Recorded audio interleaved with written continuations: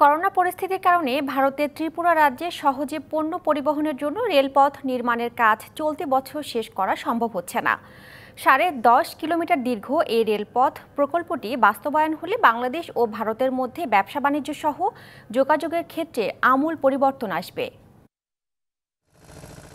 চট্টগ্রাম থেকে ত্রিপুরায় পণ্য পরিবহনের জন্য আখাউড়া থেকে ভারতের আগরতলা পর্যন্ত রেলপথ নির্মাণের নেওয়া হয় প্রকল্পটি। দু হাজার আঠারো সালের উনত্রিশে জুলাই এই প্রকল্পের কাজ শুরু করে ঠিকাদারি প্রতিষ্ঠান।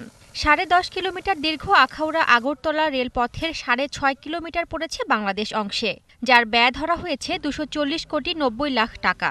বাকি চার কিলোমিটার পথ ভারতে। ভারত সরকারের অর্থায়নে এরই মধ্যে শেষ হয়েছে প্রকল্পের পঞ্চাশ ভাগ কাজ। চলতি বছরের উনত্রিশে জানুয়ারি প্রকল্পের কাজ শেষ হওয়ার কথা থাকলেও বর্ষা ও করোনা পরিস্থিতির কারণে নির্ধারিত সময়ে কাজ শেষ করা সম্ভব হয়নি। ফলে সময় বাড়ানো হয়েছে দু হাজার একুশ সালের মে পর্যন্ত। এই রেলপথটি চালু হলে দুই দেশের মধ্যে ব্যবসা বাণিজ্য বাড়বে বহুগুণ। ইন্ডিয়ার সাথে আমাদের একটা ভালো কানেক্টিভিটি হলে তখন ওই দিক থেকে এদিকে মালামাল আসা বা এই দিক থেকে ওই দিকে যাওয়া, এটা তখন আরও দ্রুত হয়ে যাবে। ইমিগ্রেশন কাস্টমস অফিস হবে এলাকার অনেক উন্নয়ন হবে এলাকার মানুষ অনেক যাতায়াত ব্যবস্থা ভালো হবে। শিগগিরই প্রকল্পের কাজ শেষ হবে বলে আশা প্রকাশ করেছেন প্রকল্প সংশ্লিষ্টরা।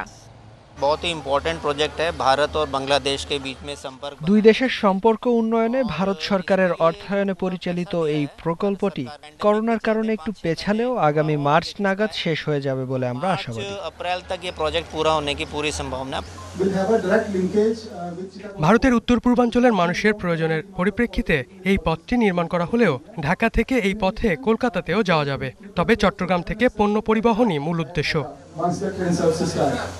প্রকল্পটি বাস্তবায়নের মধ্য দিয়ে এই অঞ্চলের আমূল পরিবর্তন হবে বলে জানান রেলমন্ত্রী।